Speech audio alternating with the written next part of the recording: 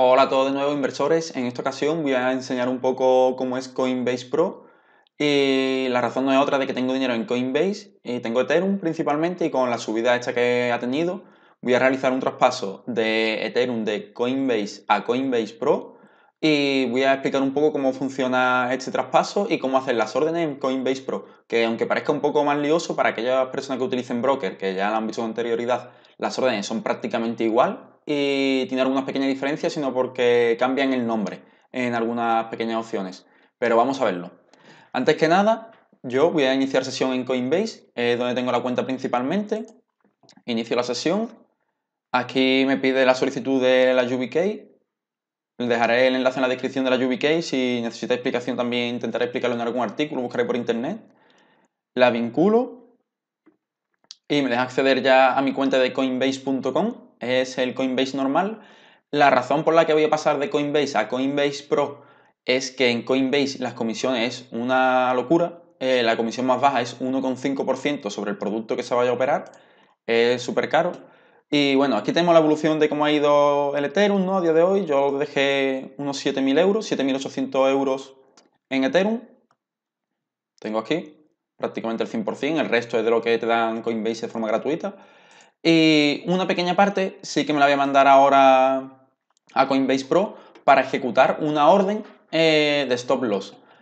La razón es porque he visto que ha subido muchísimo el Ethereum eh, tendría que bajar muchísimo también para que llegase a perder, pero quiero recoger algo de beneficio en el caso de que haya una gran caída.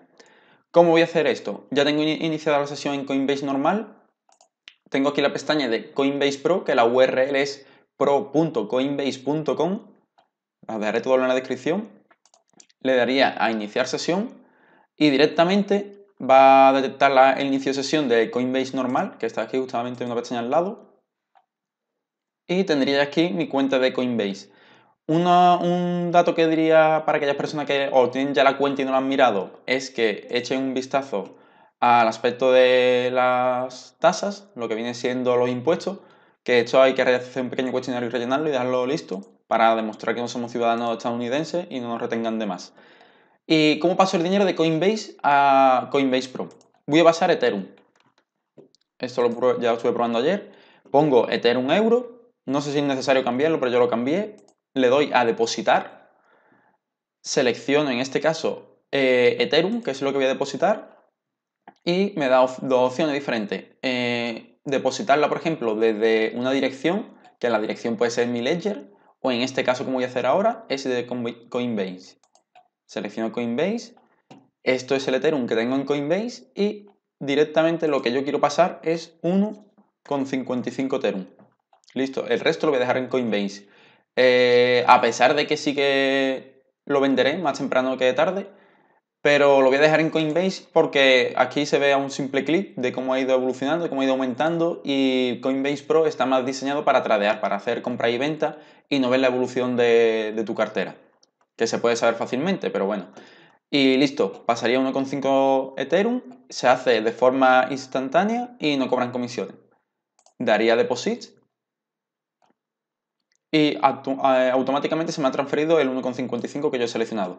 Aquí vemos, ya la cantidad que yo tengo de Ethereum, que es 1,55, y ahora vamos a ver las órdenes. De euros no tengo nada, pero aún así se puede explicar muy sencilla. Las órdenes de compra a mercado es igual, todo es igual que en los brokers, eh, hasta que yo llegue el momento que lo diga, que es diferente.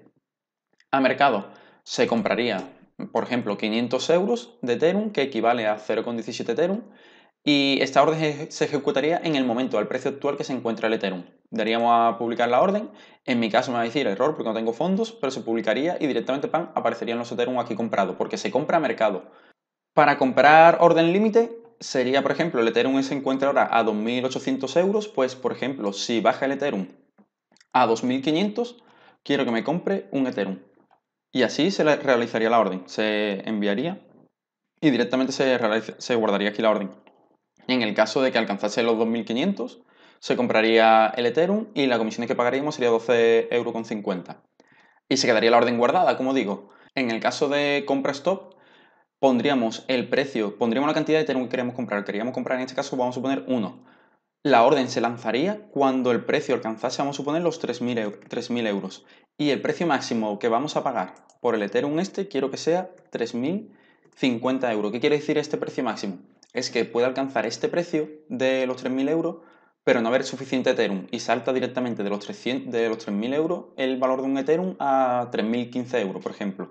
Nosotros como máximo se va a ejecutar la orden si eh, llega a 3.050 en, esa, en ese segundo que se va a ejecutar la orden. Pero esto, por ejemplo, en las criptomonedas no ocurre igual que en las acciones porque, por lo general, depende de que también qué criptomoneda, no está tan limitada. Pero para que se sepa que funciona así. Luego, en las órdenes de venta, podríamos vender a mercado. Yo en mi caso tengo 1,55 Ethereum, podría poner máximo y lo vendo actualmente al precio que se encuentra el, el mercado del Ethereum de 1,55, porque estamos viendo que aquí me, pagarían 4.400 euros, pero no es el precio del Ethereum, esto es un Ethereum y esto es 1,55. Y esto es lo que yo pagaría de comisiones. Las comisiones las voy a hablar también ahora un poco más adelante. Está la venta límite, si alcanzo tal precio que se venda hacia arriba, por ejemplo, yo tengo 1,55, lo selecciono y digo si alcanza los 5.000 euros, que se venda. Ejecutaría la orden y si alcanza los 5.000 euros el Ethereum, se vendería, me pagarían esto y esto es lo que yo pagaría de interés. Y en el caso de stop limitada, que es lo que yo voy a hacer con el 1,55 de Ethereum que tengo, es si yo tengo 1,55, selecciono todos los que quiero poner y voy a poner una orden limitada a un precio de venta, porque yo directamente voy a poner esa misma orden, la voy a poner a ese mismo precio. Yo en mi caso, yo manejo el Ethereum en dólares, pondría que saltase en los 2.300 euros. Y no lo voy a dejar margen, 2.300 euros. Y aquí pondría yo mi orden. Pasaría a la venta y esto es lo que pagaría de comisiones. Voy a dejar la orden, esta orden no se ejecutaría actualmente directamente porque si cae ese precio, saltaría la orden y la ejecutaría. Y aquí se queda mi orden de stop en el caso de que mi Ethereum alcanzase este precio a la baja. Como se encuentra 2800, si alcanza los 2300, eh, me saltaría la orden. Yo lo estoy dejando bastante holgura porque sí que pienso que el Ethereum va a seguir subiendo, pero realmente como me ha asustado un poco esa subida tan abrupta que ha tenido, he, decidido realizar esta orden. Luego, otros tipos de órdenes con, más, con acciones más avanzadas, ¿vale? Si le damos a comprar, vemos aquí, por ejemplo, que pone avanzado. Vale, voy a explicar el apartado de avanzado que es muy sencillo. Vale, este tipo de condición es, yo voy a ejecutar una orden límite que se compre si llega a tal precio y solo será cancelada si yo la, desmarco. Es decir, si yo pulso aquí, si pongo una orden aquí de compra y se aparece aquí y no se ejecuta hasta que llega hasta tal precio, solo va a desactivarse si yo le doy a la X. Luego, la otra opción es que se cancela si no se ejecuta en un minuto, si no se ejecuta en una hora, si no se ejecuta en un día. Esto está un poco más limitado, en los brokers sí que es verdad que si no se ejecuta, por ejemplo, hasta tal día se puede hacer, pero en este caso es la opción que tenemos.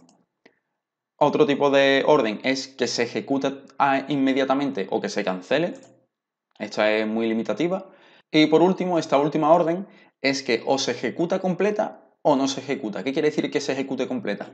Si yo, por ejemplo, digo que quiero comprar un Bitcoin, uy, un, Ethereum, perdón, a 1.500 euros, se tiene que comprar la cantidad completa de un Ethereum a 1.500 euros. No se, no se puede completar 0,7 eh, Ethereum a 1501 y el resto a 1499, por ejemplo, ¿no? Tiene que ser la cantidad entera al mismo precio. O se ejecuta así o no se ejecuta. Si no, eliminada la orden. Y este tipo de ejecución que viene aquí, que aparece post only o allow taker, es un detalle que tiene, eh, no solo lo he encontrado en los brokers de criptomonedas, y es una tontería realmente, pero aparece. Y solo se puede ejecutar si la orden se elimina de forma manual o que se elimine en tal tiempo, tanto en compra como en venta.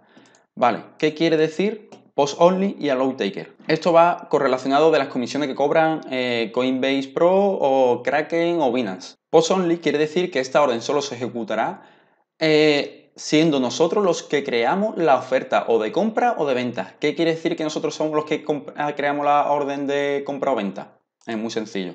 Aquí están las tarifas de Coinbase Pro, las de Kraken son algo similar, y vemos que hay una tarifa diferente para el que crea la orden, que en este caso, si yo pongo post only, soy yo el que crea la orden, y para el que toma la orden. El que crea la orden va a pagar siempre menos tarifa. Como vemos, lo primero siempre se paga igual, pero a partir de estas cantidades que se mueva en los últimos 30 días, pagan menos orden, paga menos comisión el que crea la orden.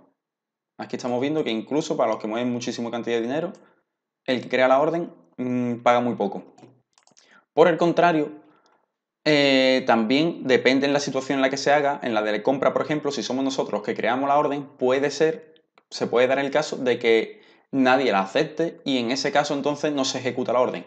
Para esa otra razón está el allow taker. Allow taker pone que puede ser la orden eh, ejecutada tanto como el que hace la oferta, como el que, el que crea la oferta, como el que toma la oferta. Es decir, que se puede ejecutar o tanto esta tarifa como esta otra tarifa. Es verdad que para pequeñas cantidades no se va a notar muchísimo el dinero, pero para aquellas personas que muevan una cantidad de dinero considerable, pues sí le puede llegar a afectar.